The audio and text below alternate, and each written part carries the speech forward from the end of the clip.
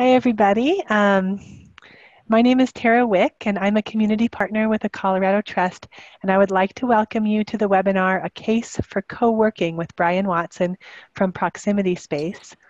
Um, this webinar is the third in a six-part rural development learning series, which is taking place between now and January 18th. The series is sponsored by the resident teams in the communities of Antonito, Avondale, Dove Creek, Olathe, San Luis, and Saguache in partnership with the Colorado Nonprofit Development Center and the Colorado Trust.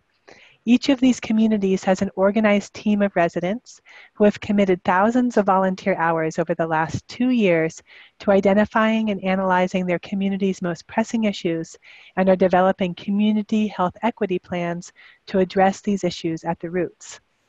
Each resident team has identified depressed economic conditions in their rural communities as a root cause issue, one that especially affects children and non-college bound young people.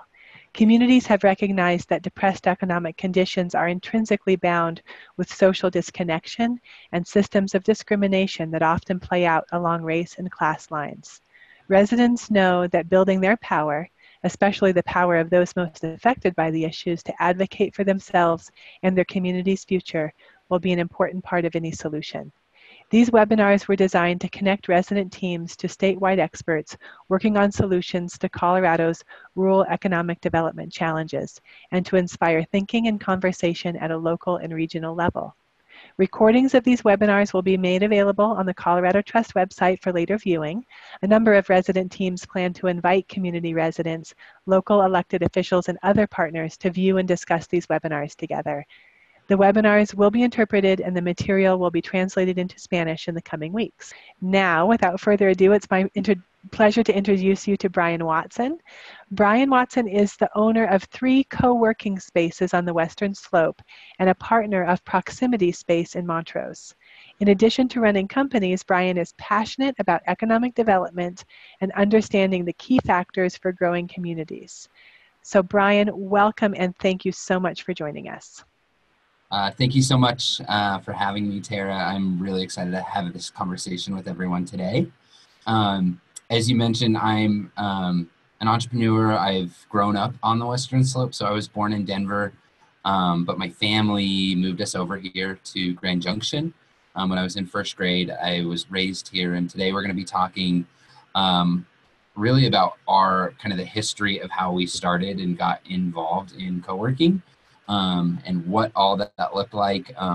We were working on building kind of our community for several years before we had a co-working space. So I want to dive into that and then um, just really dive into a lot of the things that we've learned along the way.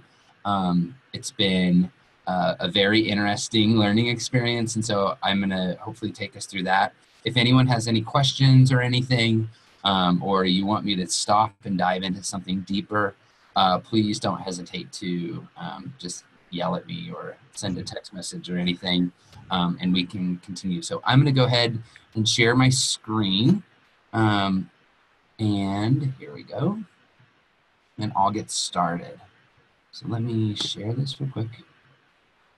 I think we should all be able to see it right now. So um, again, my name is Brian Watson. Uh, we are, we have, I'm a partial owner in three different co-working spaces here on the Western Slope. So uh, we have a co-working space in Grand Junction called Factory Co-working. Um, and then we have uh, two, one in Montrose uh, under the name Proximity Space. And then we recently opened a, a co-working space in Ridgway, Colorado as well.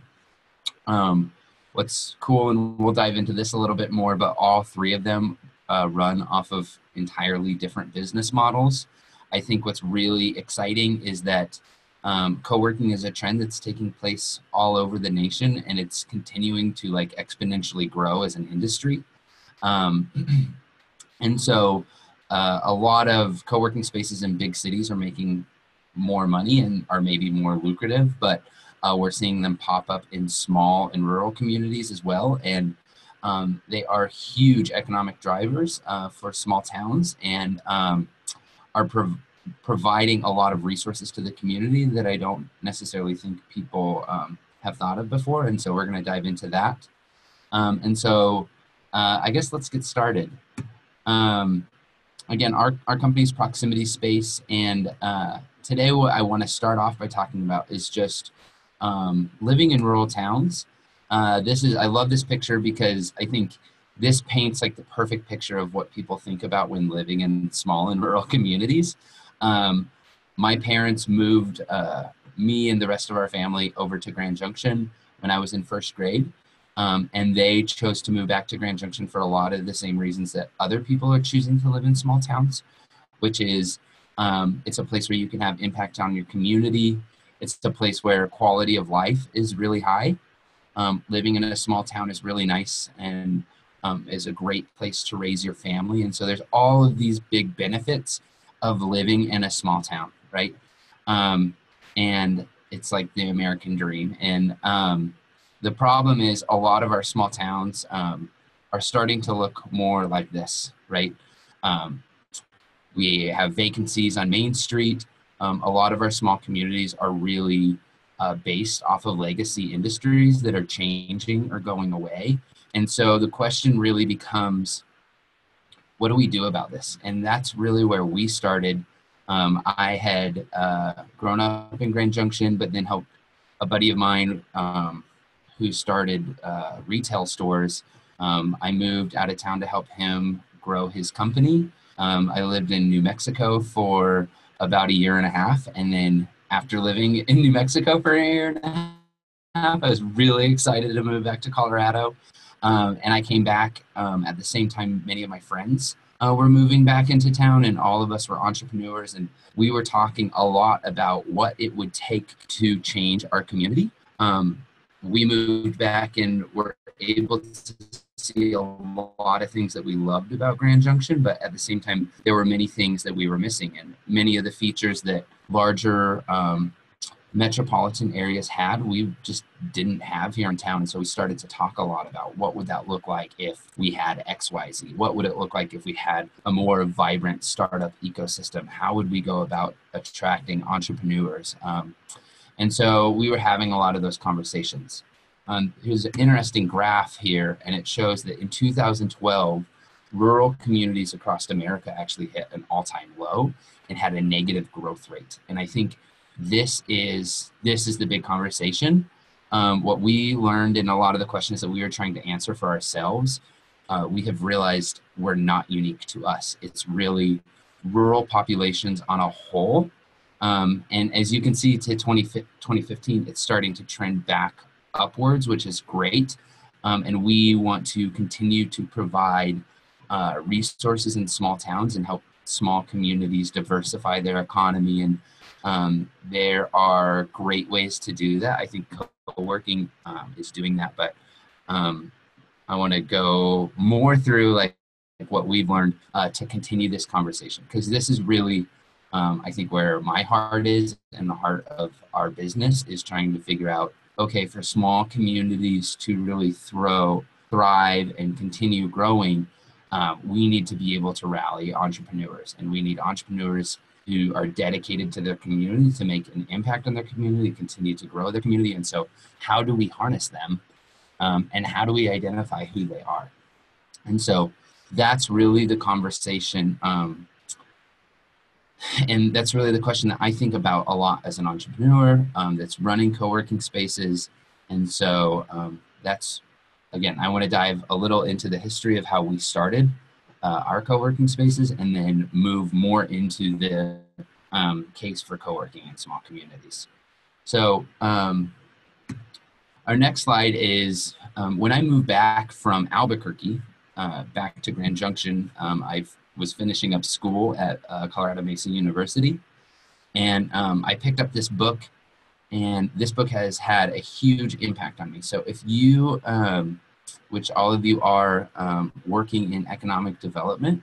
Um, this book is written by Brad Feld and speaks a lot about what they have done in Boulder for the last 20 to 30 years to really harness um, entrepreneurs. So Boulder is kind of a, a tech and startup hub of not only the state, but also one of the hubs of um, our nation for tech and startups um, but they haven't always been like that. And so this book really dives in and creates a blueprint of what they have been doing for the last uh, 20 to 30 years to create um, that diverse um, entrepreneurial ecosystem. And it's really good because it talks about all the different parties involved. It talks about universities and economic developers and entrepreneurs and where all of those um, entities, what roles they play within the um, startup ecosystem. And so this book was really uh, had a huge impact on me and really uh, spoke to me on everything that I was thinking about when I was moving back to Grand Junction of, you know, what are we going to do? How do we go about doing this? So if you haven't read Startup Communities, I would strongly recommend um, picking up this book and reading through it. I probably read through this book two or three times a year. So um, I think it's that important.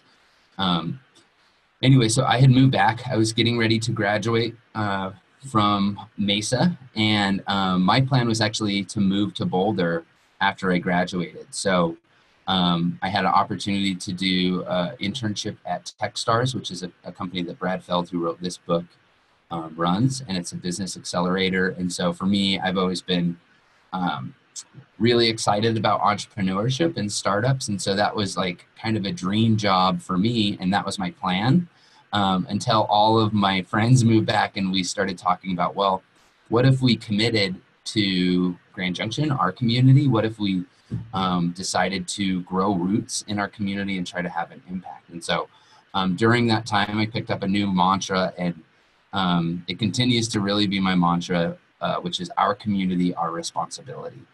And um, again, I think that this is so important.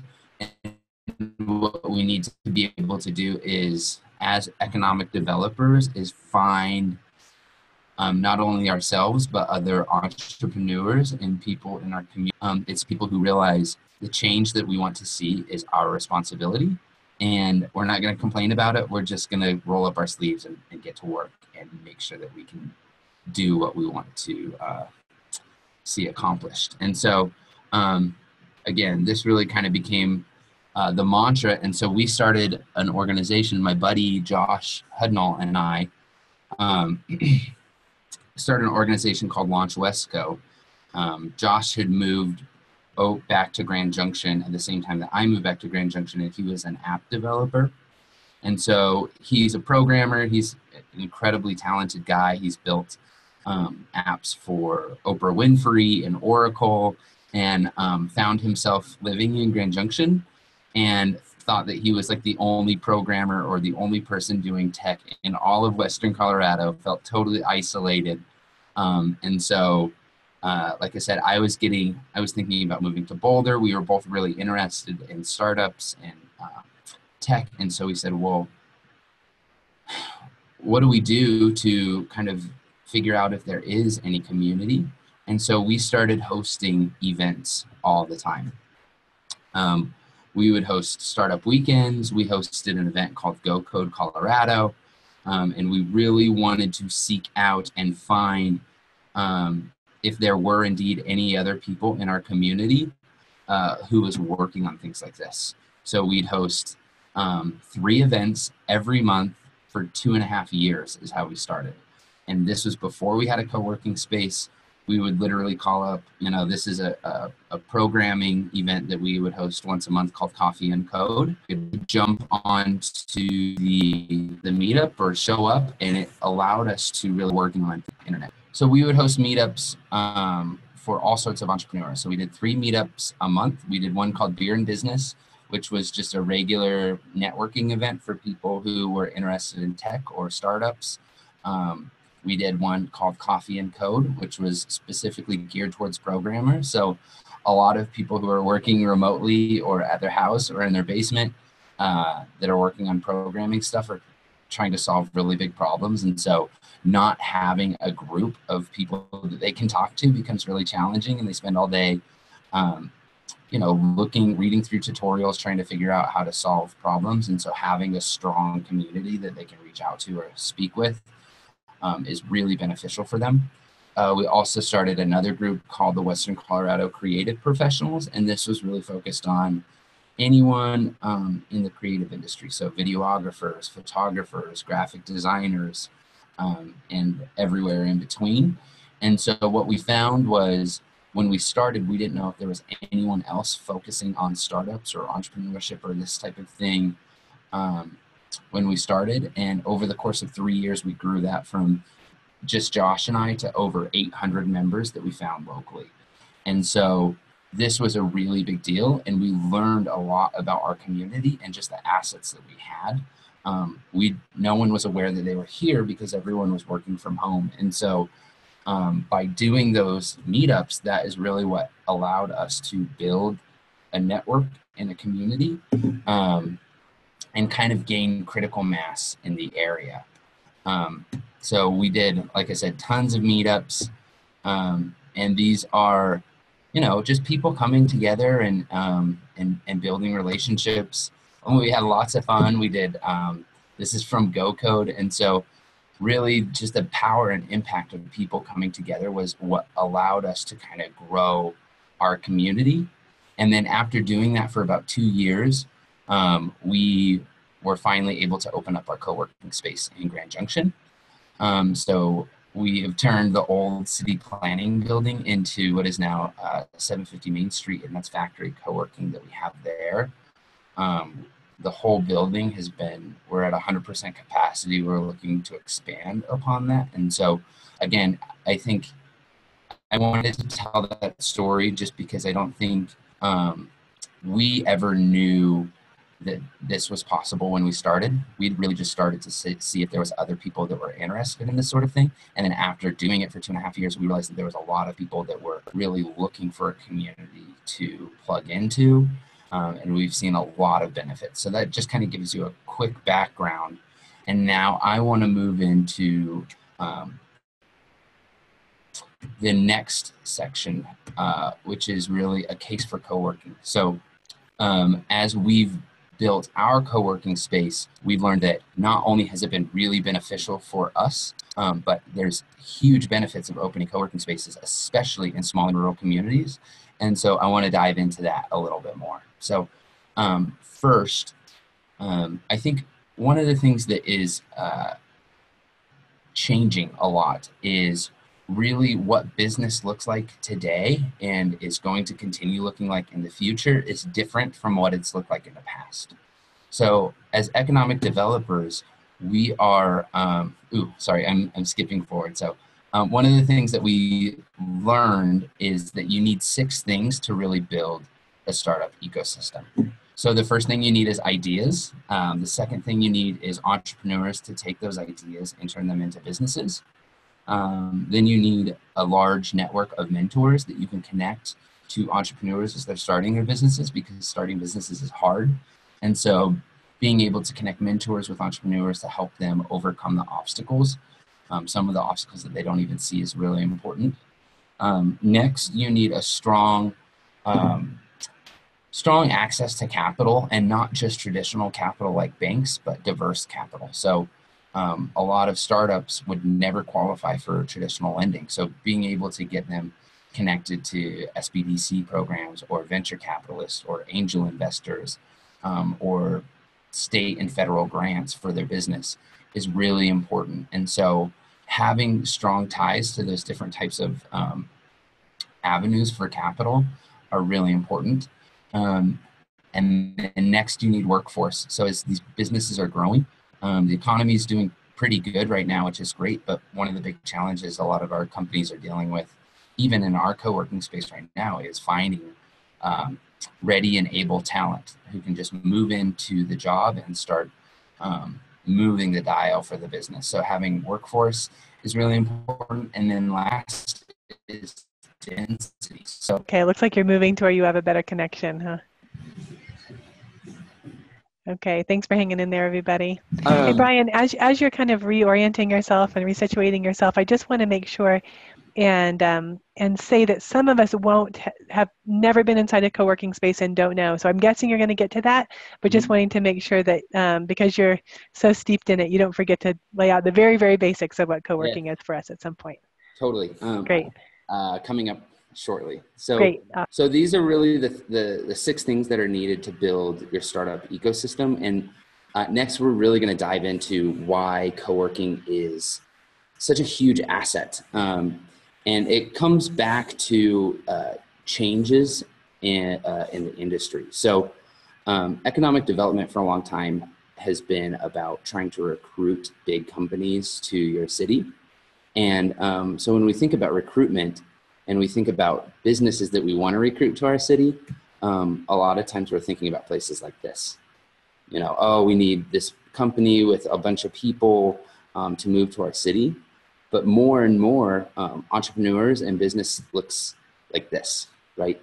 A, a, single entrepreneur who is making a big impact um, and building a big company um, out of their living room. And so, um, what we really found when we were doing our meetups were, again, we didn't know if there were any like any companies in town doing this type of work. And what we found was there was tons. We went from zero to 800 in a couple years. And we found out about new companies every single week that we never knew existed in our community. And so, what we need to do is um, to move the dial for our community is literally um, inventory every single person that lives in our town and figure out who they are, what they do, what their skill set is, what are the biggest challenges that they're facing, and how can you connect them to the resources um, that they need in order to grow their business. And so, um, having a co-working space is a great solution um, for that. So if none of you have ever been to a co-working space or are familiar with a co-working space, um, this is inside of one of the co-working spaces that we have on the Proximity Network. And um, again, the, the benefit of co-working is it's a beautiful centralized location um, where people can access, they can run their business out of there there's conference rooms, so if they need to meet with clients, um, they don't have to go to Starbucks or they don't have to meet their clients inside of their house, right? There's a place that they can go to that's professional. Um, the other nice thing about a co-working space is it does create that density within your community where there's people from all sorts of different backgrounds. So um, we have a lot of different cases, even here in Grand Junction. We have people who have been coming through town uh, and like I have a, a kid, TJ, who is an amazing graphic designer and has been living out of his van for the last year and was traveling to all sorts of different locations. Boise, was, he was just driving around doing the remote thing. Um, and he stopped in our co-working space one day um, and I was able to connect him with three different people that needed graphic design work and he lives here now um, because he was able to connect with people that could you know, pay his bills and he liked the area. And so he could make it, he could understand how he could make it work here in Grand Junction. Uh, and that's the benefit of co-working. That's the benefit of having all sorts of different companies um, together. So um, the other, uh, so this is kind of a, a, good visualization of what co-working looks like. And um, again, each co-working space is unique. And so there's no, there's no ideal thing, but there's uh, different things that most co-working spaces provide. So I'm going to show you that on the next slide. So again, the, what we want to do with co-working is provide benefits um, to small and micro businesses and remote workers. So um, we can do that by attracting different demographics. And um, again, I always call this the shadow workforce. And so again, there's all these people in our town that are starting um, small businesses or working remotely. Maybe they work for Google or they work for um, Apple, but they work out of um, their home, right? And so, as uh, community developers, we want to figure out who those people are, and um, and by having a co-working space, uh, you give a place that can facilitate um, an efficient place for all of those people to work, which allows you to identify and inventory everyone who's coming through your town or working um, remotely in your town and figure out who they are. Um, also, I spoke about this just a second ago, but it helps kind of create that entrepreneurial density. So this is something that we're hearing a lot um, right now in our co-working spaces. We have a lot of people who are moving out of Denver.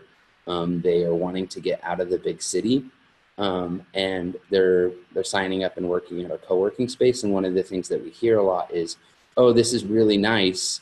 You know, every time I'm in the co-working space, I still feel like I'm in Denver. So I get the advantage of living in a small town, but I have a cool place where I can come work. Uh, there's other entrepreneurs like me that I can relate to.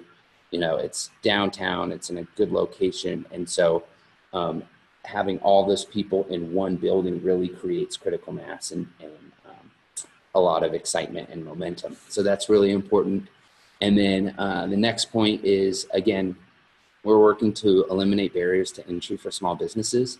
So if you're starting a small business, first of all, it's really hard.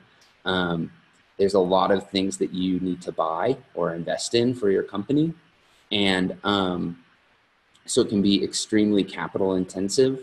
And so going from your, your home to actually having um, a business that's up and running is, uh, is really hard. It's hard to sign a 36 month lease if you want an office if you don't know where your sales are coming from next month.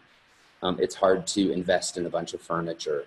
Uh, it's hard to do all those things. And with biz, with a co-working space, we give all of those resources to businesses, and there's no long-term contracts. So fast internet. Uh, we have a gigabit internet here, and because of that, we have tons of businesses that work here just because um, internet is not um, readily available or it's cost prohibitive. So um, I know that this is a really big topic that a lot of communities are trying to figure out. And again, it's, you know, there's sometimes there's middle mile solutions or we have broadband that we've um, been able to run into our community, but middle mile is not the problem, right? It's the, the last mile that gets really expensive. And so if, you know, a company has to spend 30 grand to get internet run to their building and then it's still going to be $1,500 a month. If you're a small business, that's completely cost prohibitive. Um, I always joke with a co-working space, you can run gigabit internet into one spot in your town and then it becomes like the gas station for broadband. So anyone that needs to access that fast internet to be um, competitive or um, give them a competitive advantage, then can access that.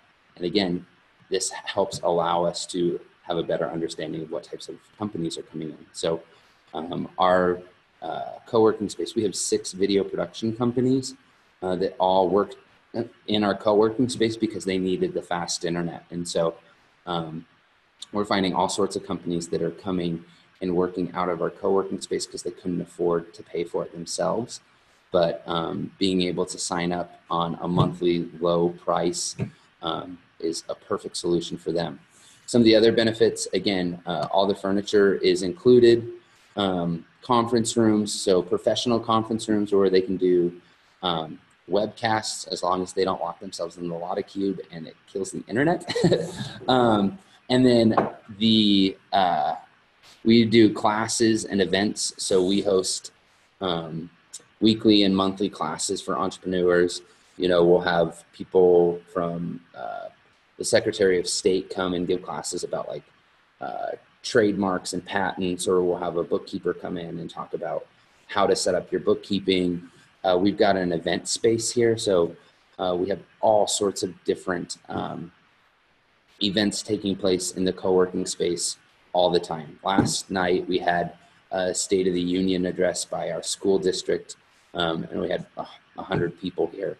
And again, this co-working space really just becomes a hub for activity, not only for entrepreneurs, but for anyone that um, needs to connect. It's a great place for that. So community is a big part. So co-working is a lot less about a building and a lot more about uh, the individuals within that building and connecting people. Um, we have so many stories. I have a, another girl who moved here from Palisade or who moved here from Michigan and she's living in Palisade um, right now. And she's like, I, she's like, everyone here is married and has kids and I'm the only single person I know and uh, was just really struggling. You know, she wanted to live here. Uh, she had some family here, um, but she didn't know how she was going to do it. And since she's moved in and started working at the co-working space, she has friends, you know, and um, is able to really kind of develop roots in the town and it's given her a place of stability. Um, and then again, the, the last part about co-working that's really beneficial is just the flexibility. Um, like I said, if you're starting a business and you have to sign a 36 month lease for office space, that can be really scary. Um, we have a lot of businesses that are just starting out and they can, um, you know, they sign up for one month and see how it works. And if they need to take a month off, that's great. They'll show up the month after that. And so it allows them to connect to the resources that they need to, but they're not they're not completely tied down um, by it. So this next picture, um, this is the software that we were building for proximity space. And I wanted to show you this. This is just the dashboard. Um, you can see like some of the money that's come in um, at the beginning of the month. And what's really important is we have uh, a door access system to where any of our members can come in 24 7. So it allows you to run your co working space locally. Again, you can hook internet up to it and any of the businesses that need to utilize that. Sometimes we have, we have entrepreneurs who are single parents, and so they need to work really early in the morning or they work really late at night after their kids go to bed. Um, it's totally flexible and they can utilize the resource here in town and um, access the resource whenever they need. Uh, the other awesome thing is, you know, co-working spaces are, they generate revenue, so they're very sustainable.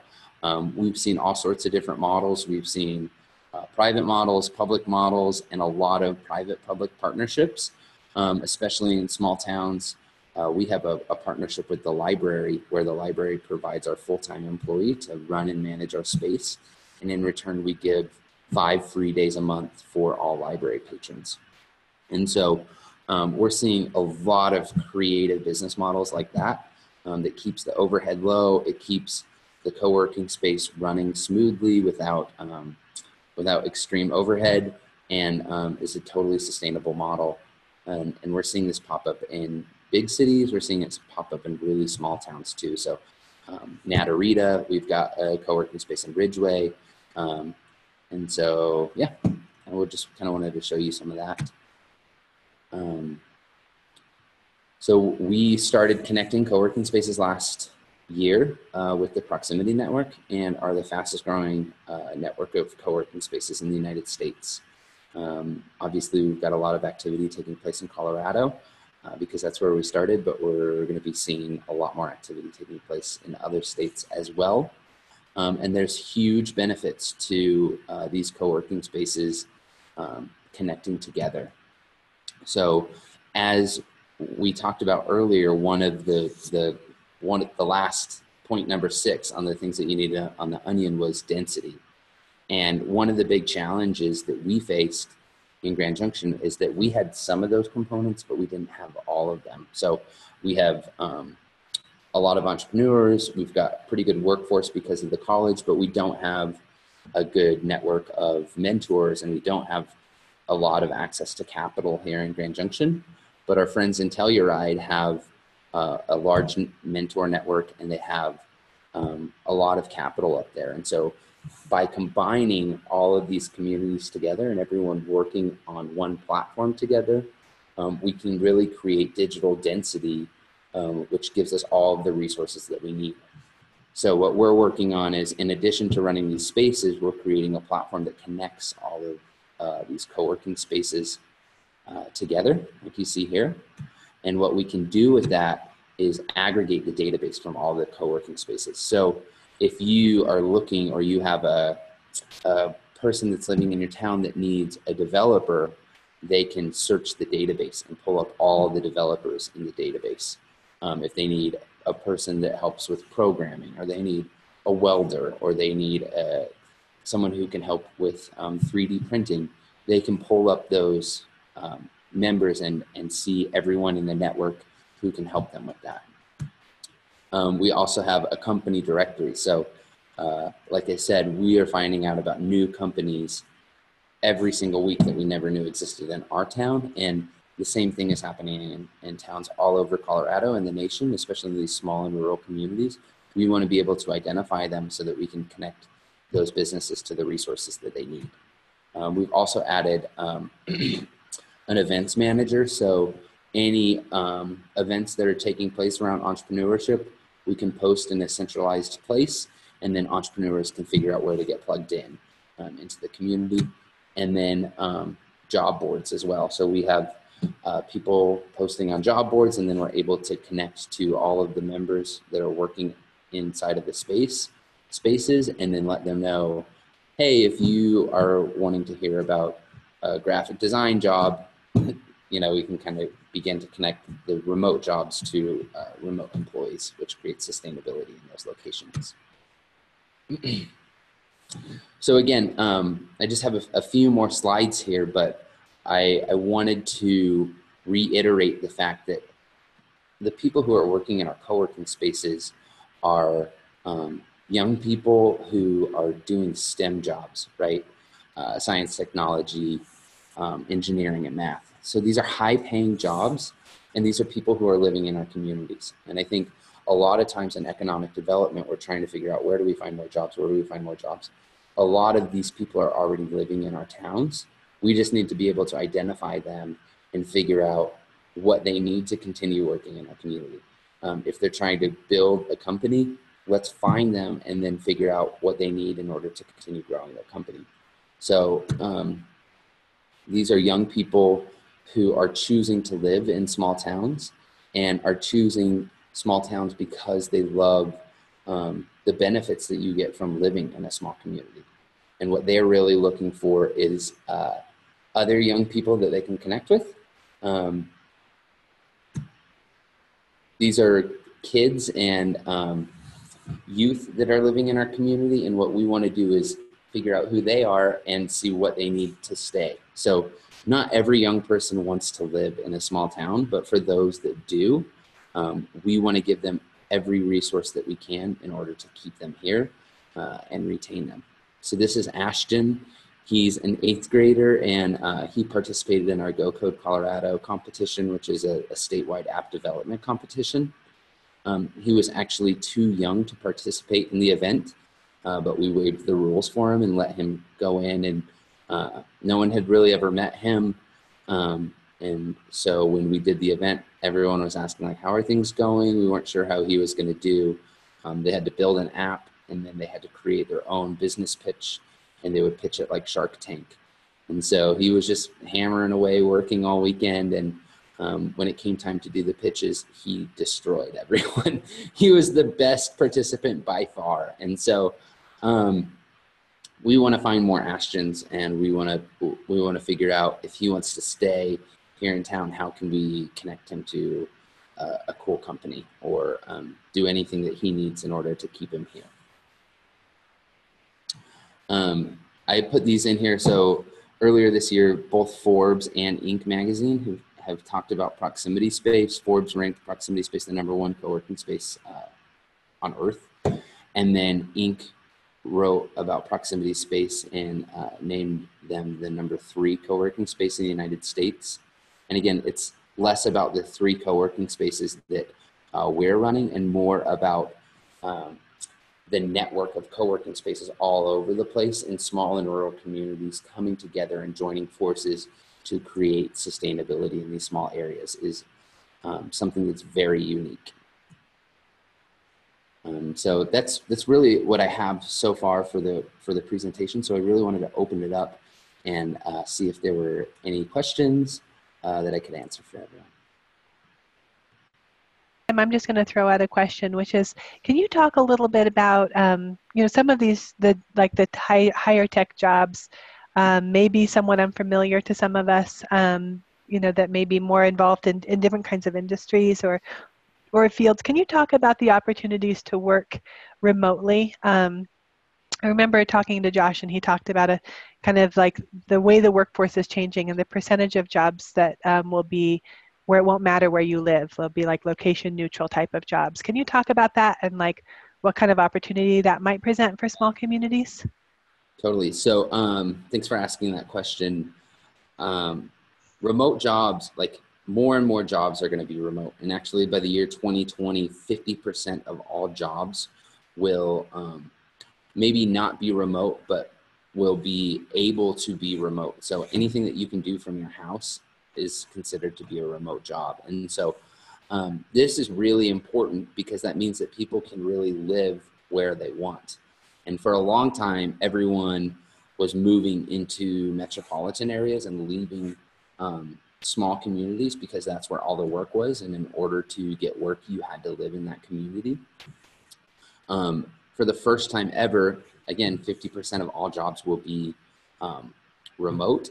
And so that means that people can live and move wherever they want. And so um, it's a really big deal. Being able to attract uh, people to our community has been easier and easier, but um, that that's why it's important for us to inventory all the individuals, not just big companies.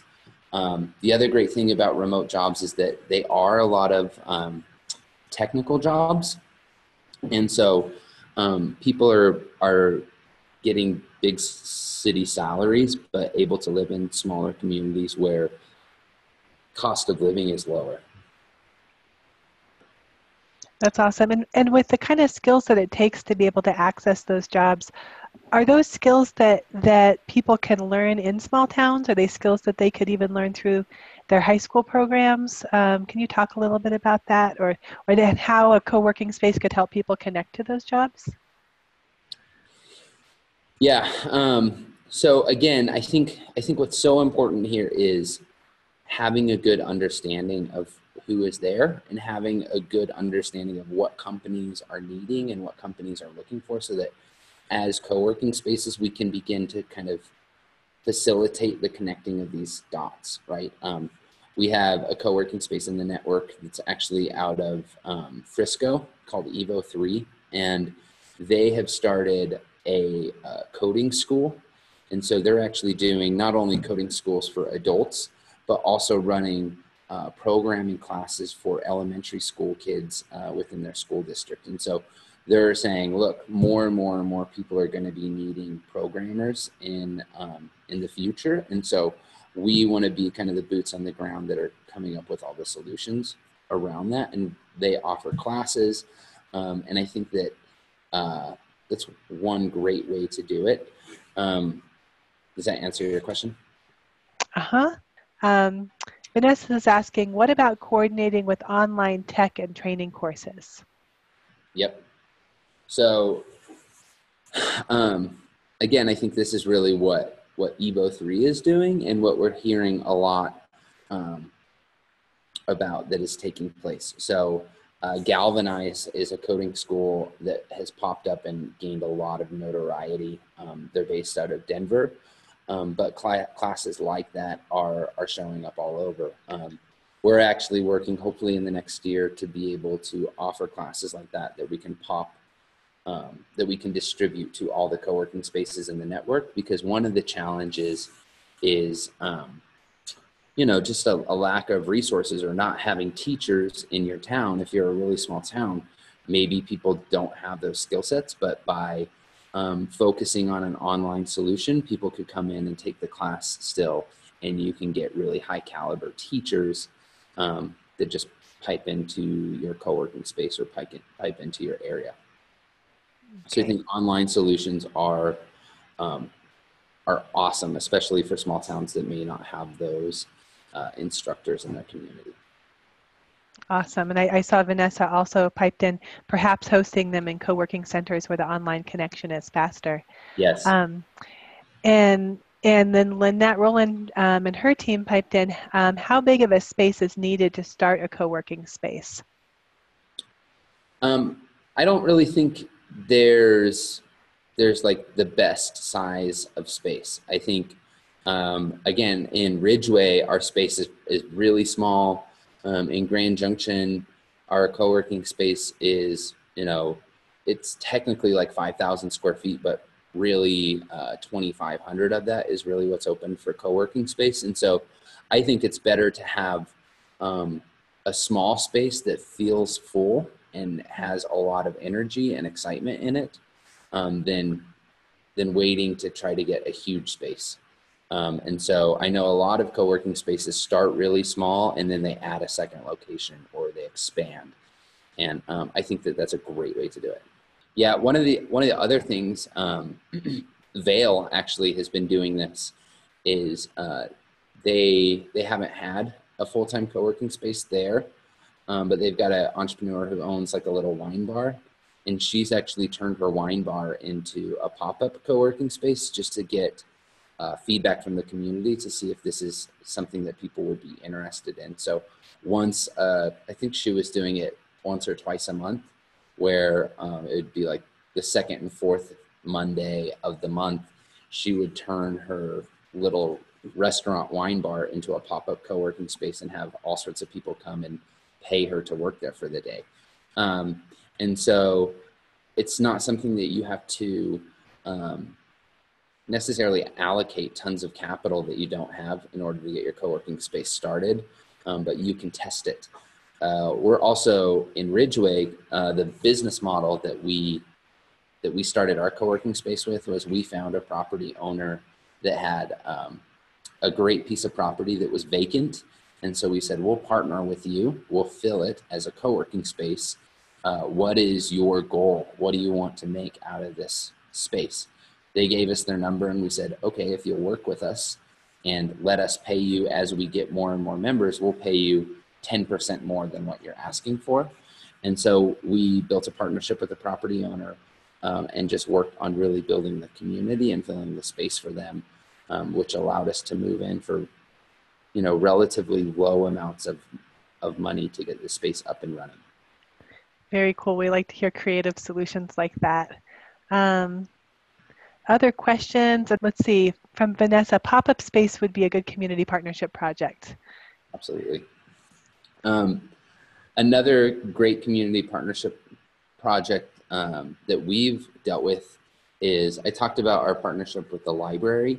Um, we also have our, in Montrose, we have a partnership with the Chamber of Commerce. And so we split, um, we split the salary basically for the person to run um, our co-working space with the chamber up there. So it's great because then the chamber gets uh, valuable insight on the new companies that are, are coming into town. Um, and then we can keep that the overhead low for the co-working space to keep it uh, profitable and sustainable. Very cool. Um, I'm going to ask a question that I have a little insider knowledge here. I um, I'm uh, I understand that both in Grand Junction and in Montrose, you've piloted some apprenticeship or uh, intern, maybe it's internship is the correct word, mm-hmm. programs with local high school students and some of the um, small business entrepreneurs who are working out of the space. Can you talk a little bit about that?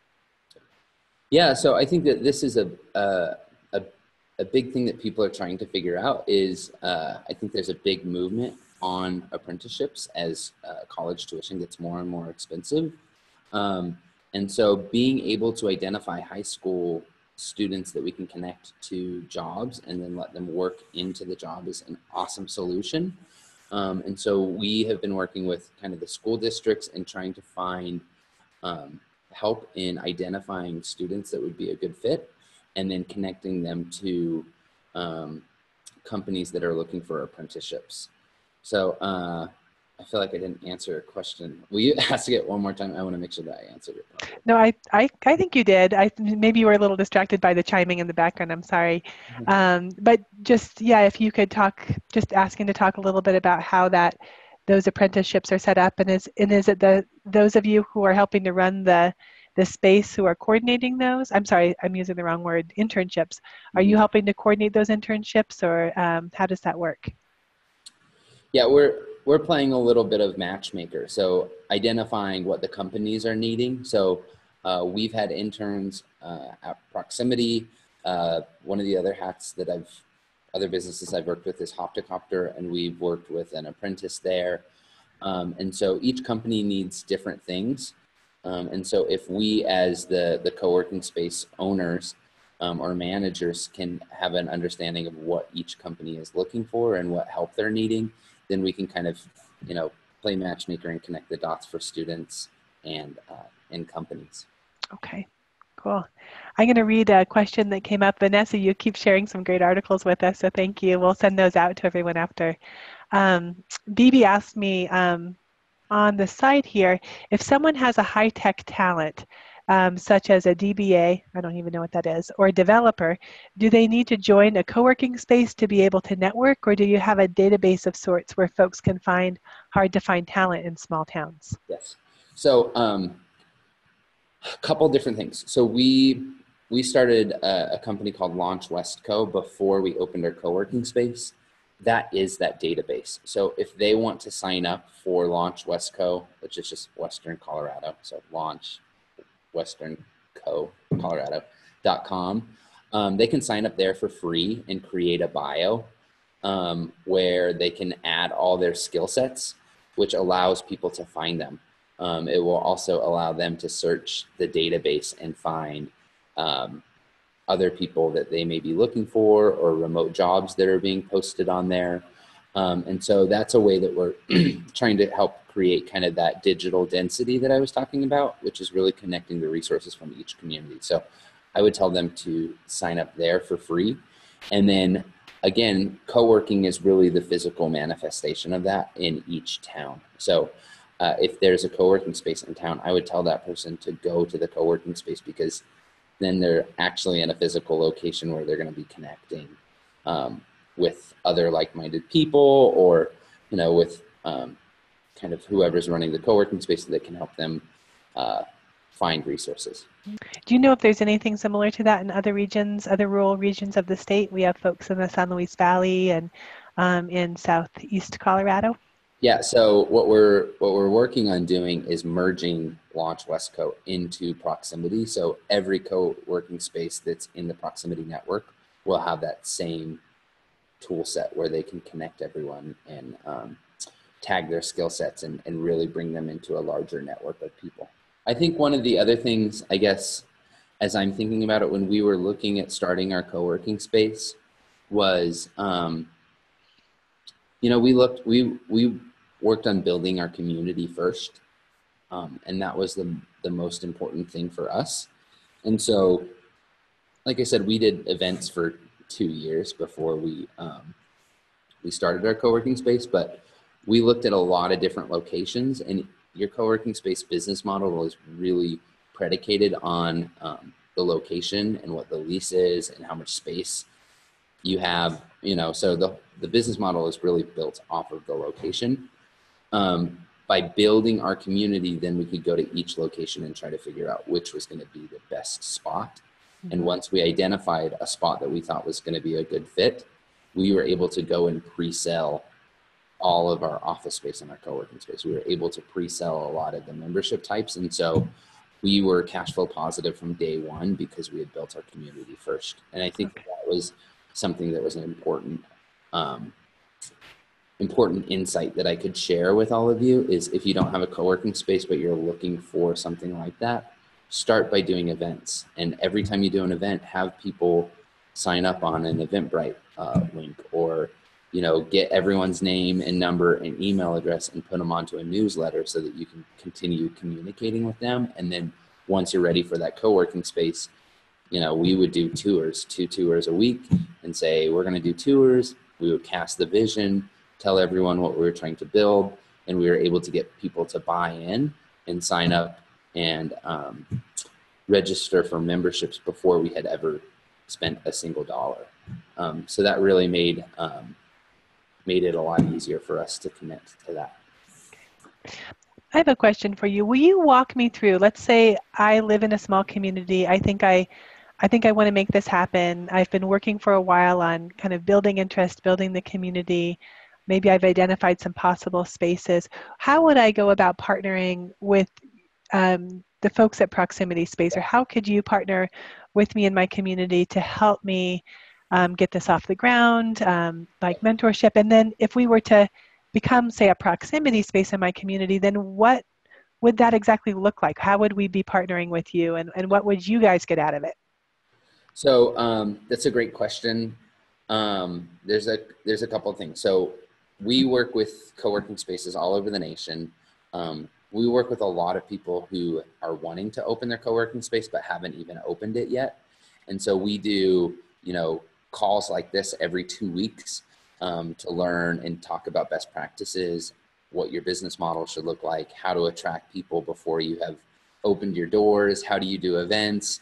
Um, and so we do a lot of um, kind of consulting on the community building side of things, and and we'll work with people all the way through every step, um, even before they've opened their co-working space. Um, as far as how this, the software and everything works, we uh, can help with access, so you don't have to worry about your your doors not being locked at night or everything. So it automates uh, membership access. It automates uh, the system for onboarding members, um, as well as billing. And then we have a lot of those tools like like Launch Westco for helping continue to build the community and do events and stuff like that. How it works is it's um, just a flat five percent, and so it allows co-working spaces that are just getting started. Um, if they don't have a bunch of revenue, it just takes five percent, and that includes all of your credit card processing fees as well. And so it's it's it's very inexpensive, and will just continue to grow as the as the membership levels grow. Um, so, so it's five percent of your membership fees that you pay back to Proximity Space, and that pays you guys for providing the software to run the whole co-working space platform and the door locking and that kind of thing. Yep, and that includes credit card processing fees as well. So okay. it's really cheap. It's cheap. Um, and, and then, then, what do you charge? What do you guys charge, if anything, for the upfront sort of consulting and walking people through the process of starting one? We don't charge anything for that. You don't charge anything for that. So that's that's all included, and then it also gives us um, the other thing that we're we're doing is connecting all the spaces. So it creates like travel passes. So if your members are living wherever and need a place to work when they're in Denver one day or whatever, we have co-working spaces there that they can drop in and work for the day, um, and vice versa. When there's people, you know, maybe they're in Grand Junction for for my example, because they want to go mountain biking on the weekends, people can stop in and work at our co-working space. So it just is a is a really nice uh, benefit. And as the network grows too, we want to, you know, we're going to be working with big companies and say, okay, if you have remote jobs, post them on on the job board so that we can push those remote jobs into remote locations. So we can help um, help members living in some of these smaller towns find good work and stuff like that as well. Awesome. I see Jessica has a question. Yeah. Did you have themed events three times per month over the two years?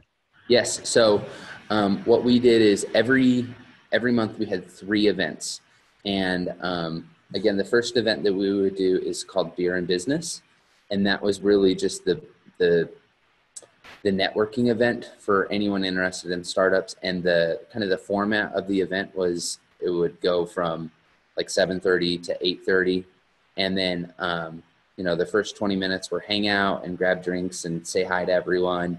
And then we'd usually have an entrepreneur there speak about their business and what they would what they were doing.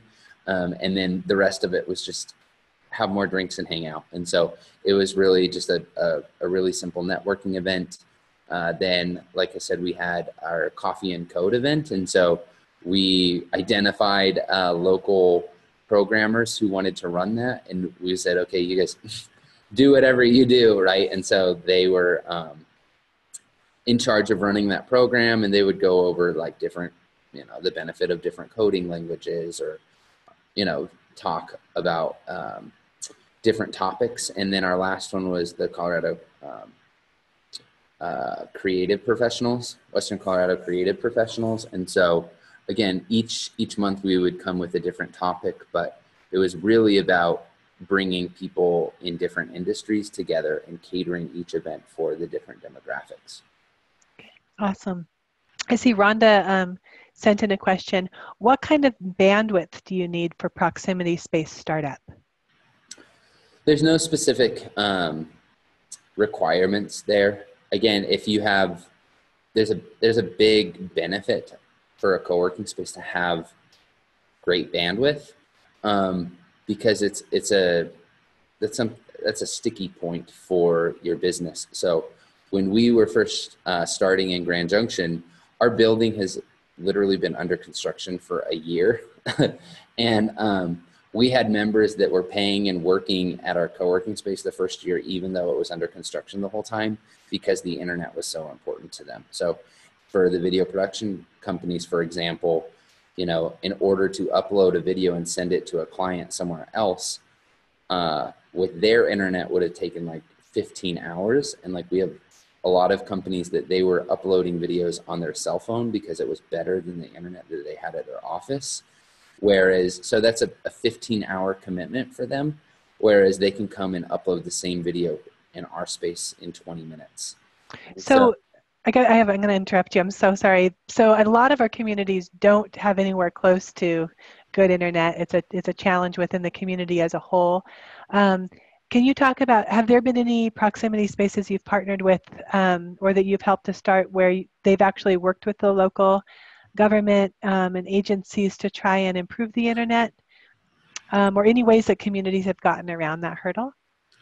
Yeah, I think um, so I'm, I'm trying to think of specific examples, but I think what is really important is to begin conversations with um, local elected officials and um, some of your community leaders to identify a good location. So if you're, I know a lot of the spaces that uh, we opened, that was one thing that was really important to us. And so before we had selected a spot, we wanted to identify a spot that either already had maybe uh, broadband connected to the building or it was going to be easy to do so. And so you know some buildings there was there was no fiber anywhere close. And so it was like well we can get it to you but it's going to cost you know 20 grand just to connect it. Uh, whereas other buildings are like oh it's right here you know? And so i would say um, prioritize that if you can. And i think a lot of communities are trying to figure out the broadband um, problem. And so if you can work with them and say, we're wanting to open up a co-working space, we're trying to find a good location. Or if we find a location, would you guys be willing to help us connect broadband? And then we'll open it up to the community. You know, I think um, everyone's trying to figure it out. So uh, mm-hmm. the experience that we've had is everyone's been really open and willing to. Um, and, and that's, that's how a lot of our stuff worked when we first started our co-working spaces too, is like, we were very transparent and it was like this is what we're trying to do. These are the things that we're struggling with and how can we figure it out? You know? Okay great. I, have heard that sometimes um, the uh, like local government buildings will often have um, faster internet before everybody else does. Yeah. So maybe that's a good reason to try and pursue some of those public-private yeah. partnerships. Finding like uh and a lot of those local government buildings are underutilized. It's like mm. you know so it's like what if we we could hook up the equipment and all convert your underutilized building into a co-working space. We're doing that in Fruita right now. So we're working with the incubator who is in they have they have space in one of the local government buildings in Fruita and like it's not being utilized well. So we're like, well, let's just turn this space into a co-working space. And then, you know, it, it's got fast internet and so people can access it. And every time someone accesses it, you're going to have insight on who that person is, what their business is, what their skill set is, what they need in order to grow their business. And so um, you turn that into a place that facilitates entrepreneurs and you can gain more insight on kind of your community or, you know, who's traveling to your town that would love to move there, but they don't know how, right? Mm-hmm. And so if you can connect them with the resources that they need to make that process easier, and that's a huge win. One question that might come up um, is that I'll just throw out there is if again the hypothetical i'm somebody in my community want, really wanting to start a co-working space i think it might be a good setup. How much capital do i need to have on hand to get a basic space um, ready to go? That's a good question. Um, it, it really varies. I think that um, you know we have some spaces in bigger cities that are spending tons of money. We in grand junction started with you know, not very much money at all. Um, we weren't generating any money off of launch. We were actually, as a matter of fact, everyone was working like two and three jobs, and we were starting this on the side because we didn't have money to do it. And so um, we were able to identify a location and work with the building owner um, that gave us tenant improvements. And then we went in and pre sold a bunch of our offices and worked with people, and they paid money up front. And so um, I think we spent about uh, $60,000 to get our space up and running, but I don't even think you need to do that. I think um, different spaces require different levels of um, capital improvement. And again, I think if you need to be super lean and mean, um, it, it's really more about creative thinking and trying to figure out how to um, get it up and running uh, as efficiently as possible. So I know that's not like a great answer, but um, you know, if you can find a good spot that has the amenities that you need, and you can put furniture in there, and you have members that are are willing to pay you to be a part of the co-working space, I mean, then you have a co-working space. And so, um, yeah. Is there an amount that that's typical for a co-working membership? I, I imagine maybe Grand Junction might be different than say Naturita in terms of what the market is. Yep, and I would say uh, again, like every good business, I mean, it's about asking questions and getting feedback. So for us, um, our 24/7 access membership gives members uh, obviously 24/7 access to the co-working space. Uh, all their conference room rentals are free and everything, and that starts at 149 bucks a month.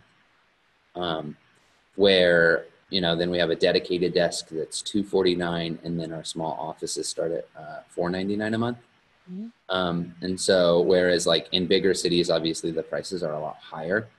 Um, and so it, it really varies, but I think that's that's about normal. We looked at a lot of different co-working spaces before we mm-hmm. opened it. So somewhere along the hundred dollar mark to get mm-hmm. in and, and running and be able to operate within the space. So hundred bucks a month mm-hmm. um, or a little more than that is a good place to start. Okay. And if anyone needs has more questions, my my email address is on there. It's just Brian B R I A N at proximity dot space.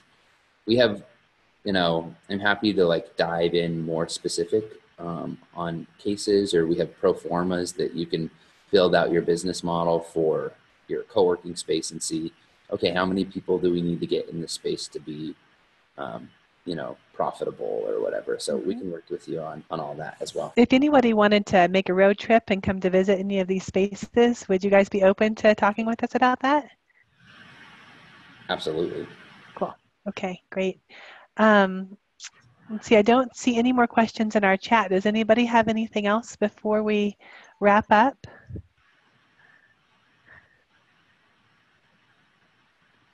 I'm not seeing. Okay, so um, I just want to say a couple of words. One um, is that um, we will be having our next webinar on Tuesday the 16th at 2.30. Um, it's going to be the Colorado Blueprint, um, learning more about um, the state level program to provide technical assistance around economic development in small rural and distressed communities. I know Proximity Space has partnered with them, so we might hear a little bit more about you guys then. So um, any last thoughts? Or last. Go, Vanessa. Yes. Um, is there? Would there be a way to get the word out to the um, different community partnerships? I, I try. I, I'm I'm in Yuma, and I'm I'm sort of on the resident team. I've I've had some health problems, so I do it from do. I'm doing this from home, uh, but um, I checked and they didn't have anything on their fa- on the on the Yuma Facebook page, and I got to wondering if if maybe the local the local the local partnerships could use a little sort of extra notice not be able not count on having them be able to trip over it on facebook or twitter. Okay yeah so i would um i would definitely talk with the um the community um leader. I think you've got a community um connector or coordinator yes. in Yuma, I would suggest talking with them because it's been the local coordinators and connectors who have been getting the word out locally. So I think that would be great feedback mm-hmm. um, for you to give to your team. Um, and also, I'll just. Well, I was I was going to use that anyway. okay, great. And I'll just remind people that um, we will make a recording of this and all the other webinars in this series available on was the Colorado Trust website and um, and so you can watch these again with your team, or you will um, have links available there if you want to share mm-hmm. them on your Facebook pages for your resident team or anything like that. And for those people who prefer to um, kind of watch it together in a group mm-hmm. and then talk That's about another it, one. Um, the links will be there, and I know a lot of community coordinators and connectors are planning to share those with their teams um, and have a conversation together. Um, and and also for those who might have a hard time getting online. When this comes back up on when it's available on the website, and I'm going to post it over on my community Facebook page. Um, I'm going to tag the Chamber of Commerce too. Very cool. Yeah, I, I, know that in at least Montrose, the Chamber of Commerce is now located in the co-working space. Mm-hmm. So they've mm-hmm. co-located oh, there. Very cool. And I see, um, I see something from Lynette. Thank you, Brian. Your enthusiasm and interest um, to help us is much appreciated. And, um, also, I just want to note that Brian um, did this for free for us today and waived the the small honorarium we offered him. So thank you for donating your time to develop this, Brian. And um, I see you also shared Proximity Online Meetup link as well. That's where we'll share best practices, or you know, we'll hear from co-working spaces all over the nation. And you know, a couple weeks ago, we said what were the best marketing tools that you did over 2017 that actually converted people into members, and um, it's just a, a great resource um, to to dive into kind of co-working and see what's working.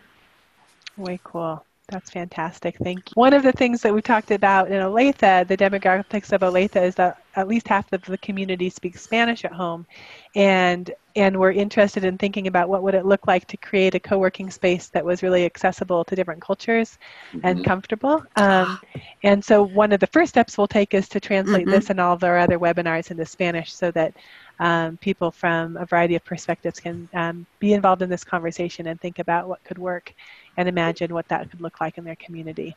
That's so cool. I would just add to that. So one of the things too that is so important before we opened our co-working space, one of the things that we learned by doing so many events and building the community beforehand were what were the things that were missing.